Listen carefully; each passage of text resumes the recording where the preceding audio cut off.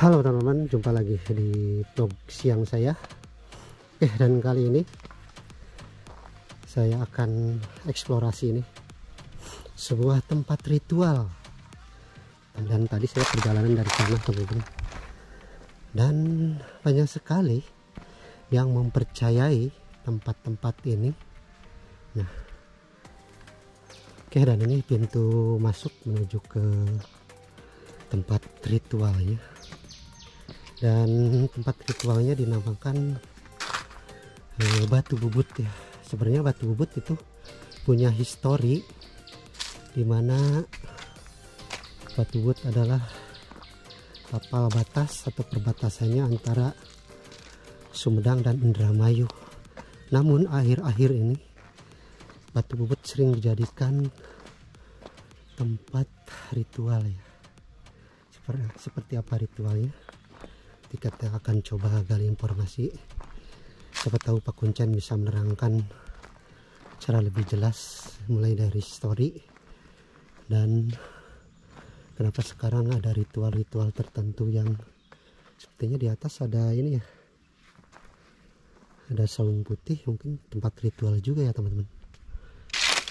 Oke kita langsung saja menuju ke pak kuncinya karena ini ada pak kuncinya yang menjaga tempat ini. Dan batunya sih banyak sekali yang ada kain putihnya teman-teman. Itu untuk apa ya sebenarnya kain putih itu? Ada makna apa dibalik batu ditutupi oleh kain putih itu ya? Saya penasaran banget teman-teman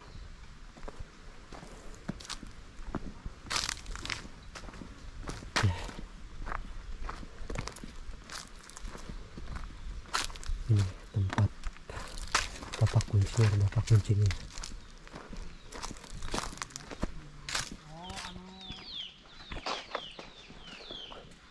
Kita lanjut perjalanan teman-teman.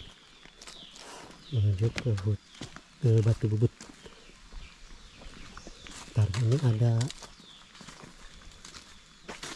pasujudan diri kemelaten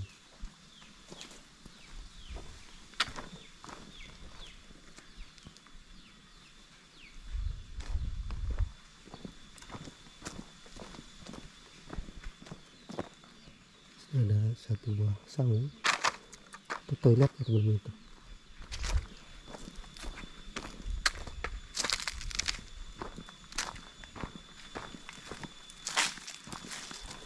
ini udah masuk ke area batu bubut ya ayah?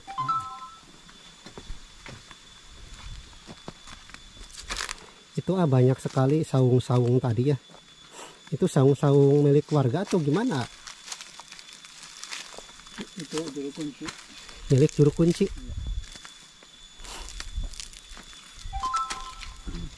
Oke sudah terlihat teman-teman. Tuh. Dari sini nih. Batu bubut ya namanya ya?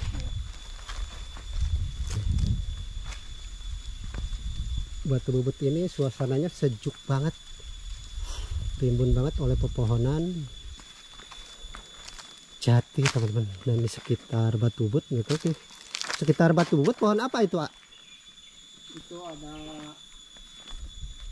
biara Kiara, terus ada kosambi Sambi, terus ciserut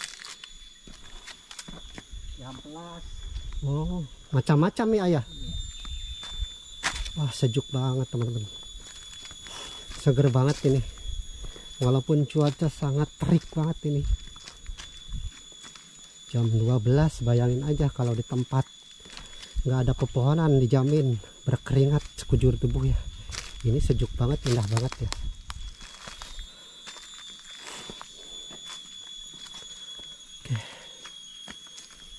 Bismillahirrahmanirrahim. Assalamualaikum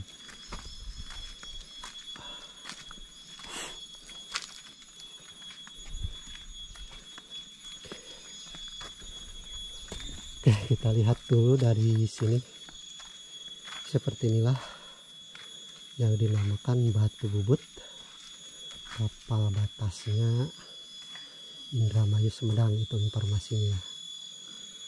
Dan batunya di selumuti atau ditutupi sebagian badannya oleh kain berwarna putih teman-teman bawah ada saung apa ya itu ada tulisan tuh ya. Bismillahirrahmanirrahim. Assalamualaikum. Itu ada tulis ke sana dulu ya. keramat bat watu bubut. Di sana nunggu di sana. Enggak apa-apa. di barang ada di dia. Oh, bareng. antara kak itu oke saya agak ini agak kurang ini. Harus diantar soalnya Bismillahirrahmanirrahim Assalamualaikum ini keramat watu bubut teman-teman oke ah. saya mau informasi sedikit nih tentang batu bubut tak bisa dijelaskan ah, tentang batu bubut ini Ini jangan di sini jelasin ya. Hah? Jangan di sini. Oh ya oke. Ini juga ada saung. Mungkin ini tempat ritual ya. Iya. Oke ini. Kalau kita mendekat nggak apa-apa. Bismillahirrahmanirrahim.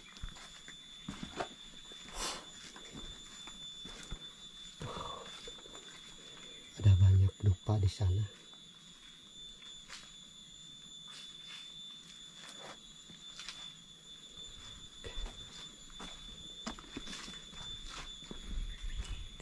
Oh, udah nggak ada lagi ya ke sana. Enggak ada. Cuma ini Kalau ini gua bukan, nak? bukan. Bukan. Seperti gua. Ternyata bukan, teman-teman. Oke, kita lihat dulu di sini. Itu batu bubut itu tadinya perbatasan. Perbatasan. Ya, Sumedang Indramayu. Sumedang Indramayu. Iya. Jadi itu tempat perkumpulan perkumpulan orang-orang dulu, pertemuan-pertemuan orang-orang dulu kerajaan. Itu ceritanya tuh, Sejarahnya tuh. sejarahnya tuh. Jadi tempatnya itu kalau zaman sekarang mau balik kampung biasanya suka merinding tuh kalau ke sana. Betul, saya juga tadi merinding banget ini pas eh, ke area yang ada dupanya itu tuh. Agak gimana ya Sebenarnya perasaannya tuh. nggak mau diceritain kalau misalkan di sini juga kalau ceritain tuh merinding nanya-nanya sama orang pintar kalau merinding itu tandanya nggak mau Diceritakan. diceritakan. Itu ada kuncinya betul ya? ya? ada. Kalau kuncen yang asli turun temurun di kampung. Kalau yang di situ di Batu yang Bubut di situ itu orang dari Indramayu. Oh, cuman diam diam di situ. Itu kan ah di sana tadi tuh ya ada semacam pas di bawah Batu Bubut itu ada saung, ada tikar, di bawahnya juga ada dupa itu semacam eh, tempat ritual itu gimana? Apa tempat ritual atau Iya, semacam gimana? ya ritual itu kalau Jumat Kliwon biasanya kan Oh, ada ritual di atau sana. misalkan hari ini ada yang datang Iya. ya terus tahlilan di situ semacam itu Ada yang pernah ah dengar ini ya. eh, semacam ritual eh, punya kemauan apa atau hanya ritual ziarah atau gimana yang ke sana? Sebenarnya mah kebanyakan orang ritual itu intinya minta banyak rezeki. Oh, kebanyakan itu iya. Misalkan yang datang itu pengen usahanya lancar, iya. pengen eh, tidak kesulitan ekonomi, yang gitu ah yang datang. iya. Hmm, semacam mencari pesugihan juga ya teman-teman karena bisa diartikan kalau eh, untuk mencari harta atau mencari penglaris bisa ujung-ujungnya ke harta juga ya. iya Itu banyak ah yang ke sana. banyak Tadi juga kan ada ini ya, ya. Ada semacam saung-saung banyak ya. Ada yang berpencar tuh, ada yang agak jauh gitu ya. Bahkan tadi ada tulisannya batu pasujudan apa gitu ya. Itu tempat nginepnya atau gimana? iya Berarti yang punya maksud, punya hajat, punya kemauan, punya tujuan nginep di situ. iya Nanti ritual di batu bubut. Dibantu atau di ini sama Di- Pak Kuncen iya gitu. Heeh. Yang kebanyakan di situ laki-laki atau perempuan lah. sama aja banyak Laki-laki dan perempuan sama banyak. Iya. Hmm.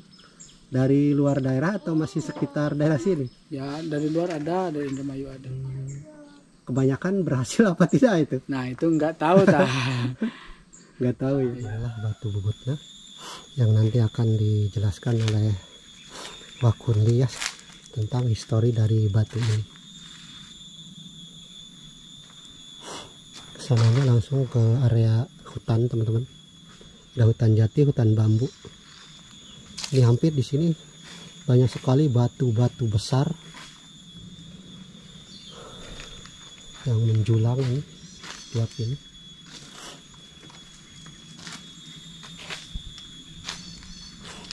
Kalau ke sana ke mana udah nggak ada lagi. Nggak ada lagi? Iya.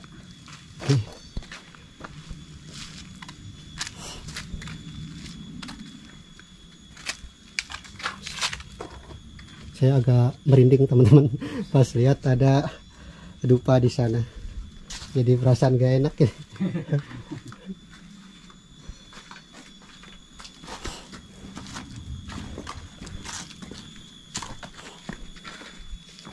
Nggak ada lagi ini udah ini aja batu bubut di sekitar sini itu ada batu yang di atasnya kok itu seperti memisah ya ayah nggak nempel ke batu yang besar ini enggak Oh. Itu yang di atas bulat teman-teman menyendiri itu. Cuma menempel sama batu yang besar ini tuh, yang paling atas. Ditopang sama akar-akar pohon apa ya akar itu?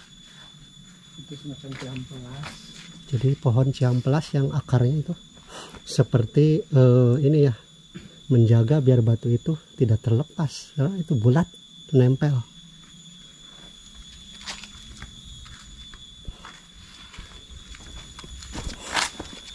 Oke, seperti itulah batu bubutnya, teman-teman.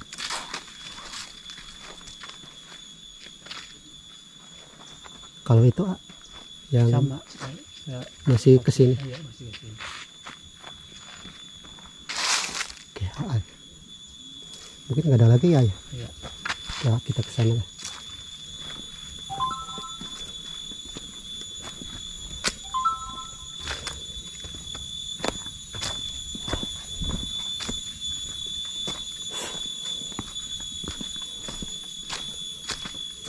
Kalau ke sana ke mana? Sana lagi pulang lagi ke sini Pulang lagi? Ya, berarti terus udah di sekitar sini aja.